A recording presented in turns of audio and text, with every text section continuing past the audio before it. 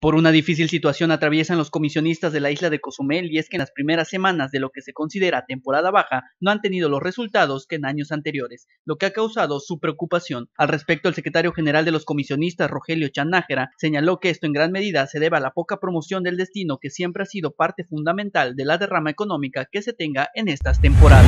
Bueno, la semana pasada estuvo, estuvo bajísimo, estuvo por ahí del 50% y pues como este y, esta semana pues ha habido algo de movimiento este eh, el lunes no hubo crucero eh, estuvo muy crítica la, lo que son las ventas eh, y el martes se llegaron los que estaban pendientes y, y pues también lo, como siempre, como siempre, la, hay gente, hay mucho movimiento, pero pues la mayoría de la, gente ya hicieron su compra en el crucero y son pocos los que, los que, los que compran aquí, pero afortunadamente ha habido algo para, para todos nosotros, ¿no? tanto para los que rentan vehículos, para nosotros como sindicato y igual para los, este, para los compañeros taxistas, ¿no? que igual tiene algo de movimiento que afortunadamente pues eso es, es bueno para todos nosotros. Bueno, el año pasado, en, hablando de septiembre, de septiembre concretamente, estuvo mucho mejor.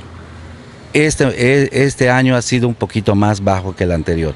Esperemos que eh, octubre estuvo muy bajo el año pasado y pues estamos viendo que ahorita hay un poquito más de movimiento, ojalá que se mantenga así, yo, pienso que así va, va, a ser, ¿no? Recordemos, si no me equivoco, en la primera quincena de noviembre viene la temporada de cruceros, pues ahí sí vamos a, reponernos de las, de las bajas temporadas que tuvimos entre lo que es a finales de agosto y septiembre. Pues definitivamente necesitamos este, más promoción para la isla, este, eh, eh, turismo sabemos que pues está poniendo su granito de arena, pero pues este no es por demás también que pues que haga un poquito más de esfuerzo porque pues eh, Cozumel depende al 100% del, del, turismo, ¿no? Y entonces este por nuestra parte como sindicato ¿no? estamos dando lo mejor de, de nosotros para el turismo para que regrese nuevamente a, a la isla. Con imágenes de Ariana Araujo informó para Canal 10 Iván Maldonado.